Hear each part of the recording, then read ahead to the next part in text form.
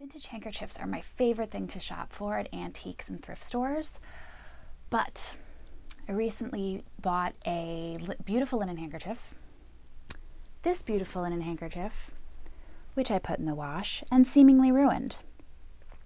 However, I think that I can turn this into a piece of heirloom textile art. Let's see if I can do it. Here are my materials. I have my handkerchief fabric ready to be transformed. I have a good pair of shears. I have a linen cotton blend from Robert Kaufman for the background fabric.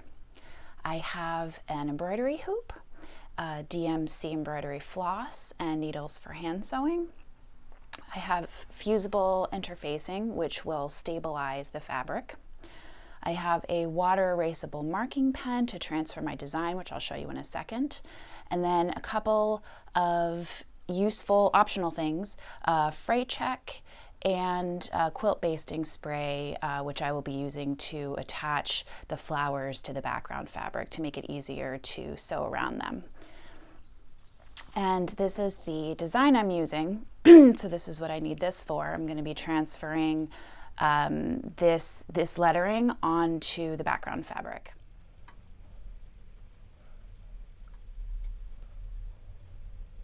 So it's, it's clear that I'm probably not going to be able to use this part. Um, so I'm just going to go ahead and snip this. Um, I think I'm going to do it like this.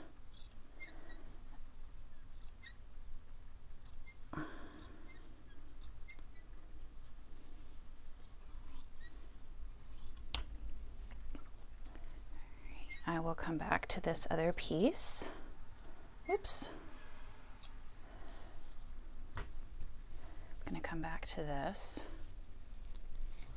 And I've got my fusible interfacing. And I am going to use this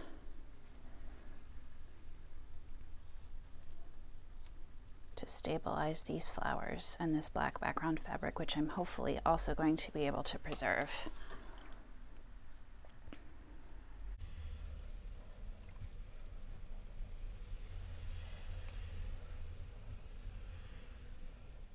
Now the flowers have been stabilized. Um, as you can see, I did not do the neatest job here, but that's okay because that part's probably going to get trimmed off anyway. I have a little bit of extra, but I'll hold on to that. Uh, I might be able to use that still.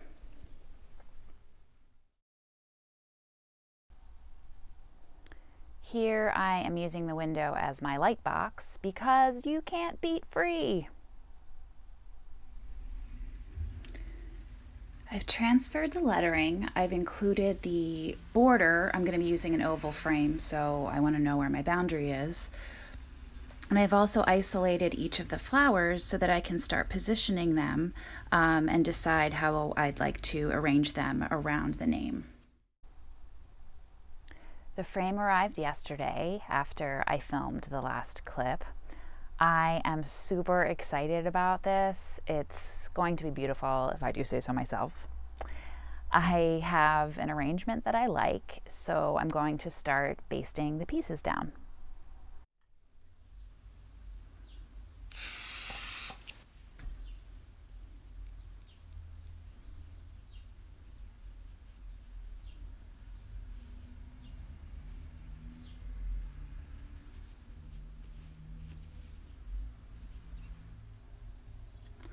I've spray basted the pieces down.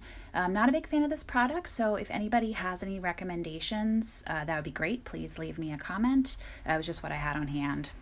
So anyway, now that everything is tacked down and trimmed, I'm going to hop on my sewing machine and do some applique using a satin stitch.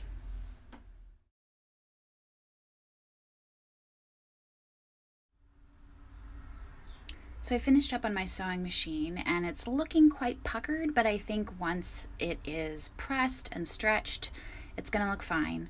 Uh, as you can see, I did a straight stitch along the edges that are not gonna be visible. Um, and yeah, I'm ready to start embroidering. Here's a quick look at the back.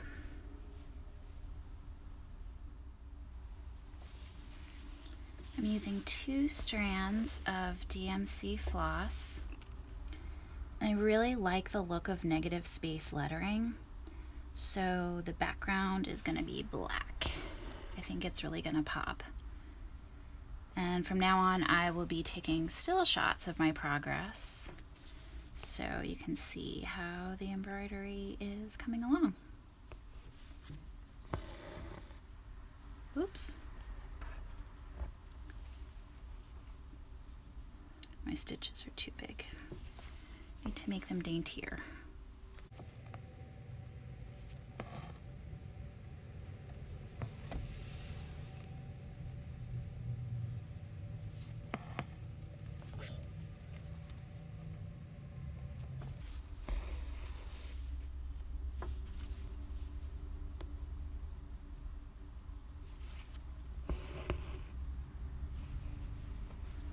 Trim that.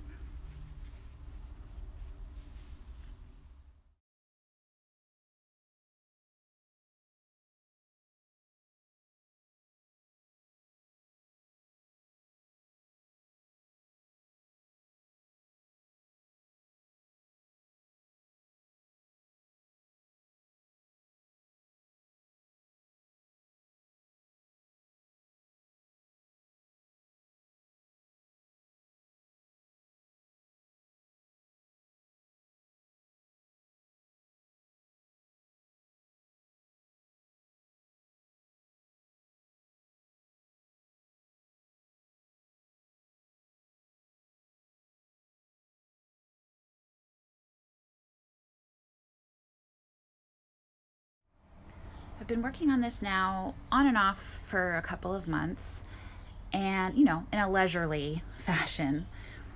I have pressed the fabric. Still looking a little bit puckered inside the lettering, but I think that'll even out once we stretch it.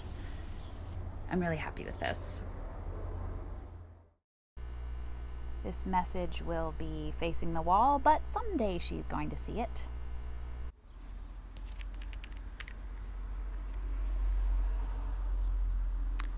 Applying fray check to the edges here. The embroidery is ready to be mounted, and I'm just going to use this piece of foam board that came with the frame.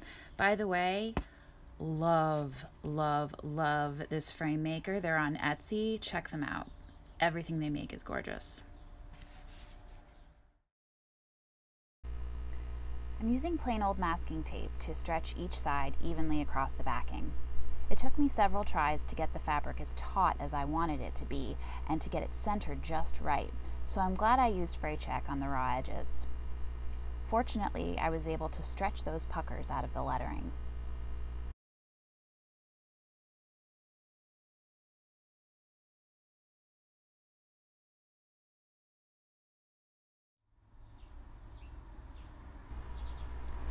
I knew I'd be filling in the flowers and leaves with pink and green DMC floss, but I should say that the linen was getting increasingly frayed even just in the course of carrying this project around and taking it in and out of its little project bag.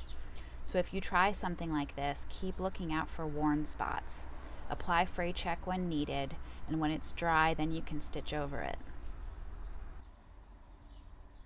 I am so pleased with how this turned out. So if this video has inspired you to take some beautiful but maybe worn out fabric and transform it into something pretty awesome.